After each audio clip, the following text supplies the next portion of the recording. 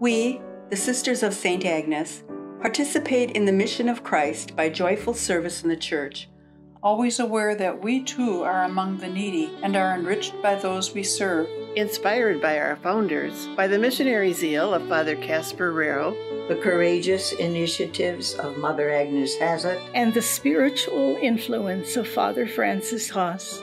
We continue to respond in our own times to those whose faith life or human dignity is threatened. Rooted in Christ through prayer and worship, we serve in both rural and urban settings throughout the United States and in Latin America.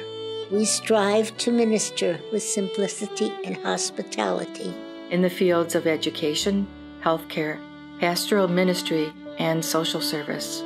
We are committed to transformation of the world, the church, and ourselves through promoting systemic change for the quality of life, justice for the economically poor, furtherance of the role of women in church and society, mutuality, inclusivity, and collaboration.